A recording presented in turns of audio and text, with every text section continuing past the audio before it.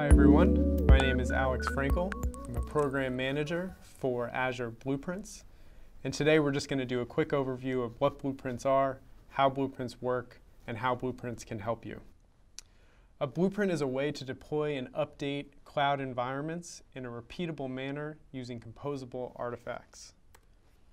Those artifacts include role-based access controls, or RBAC, policy definitions and assignments, and ARM templates for deploying a wide variety of Azure resources.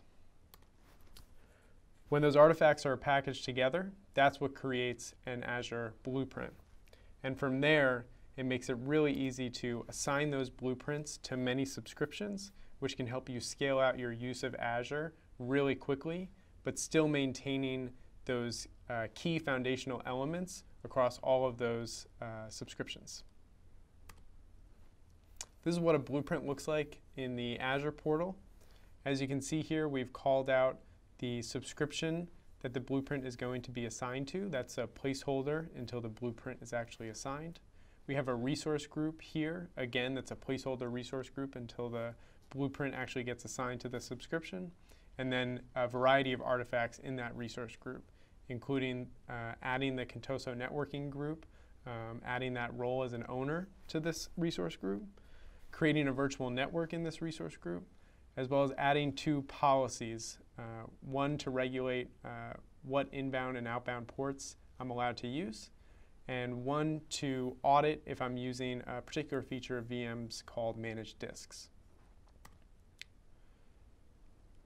And the way a blueprint works, uh, simply a cloud engineer um, or other blueprint author would create the blueprint, add those artifacts as we just looked at uh, to the blueprint.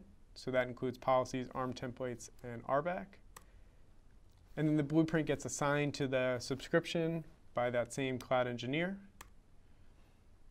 Once the blueprint has been assigned, the application team will get access uh, to that created environment, and all those foundational pieces like policies, resources, and RBAC have already been created, and they can use Azure the way they already know how to use, but in a governed environment.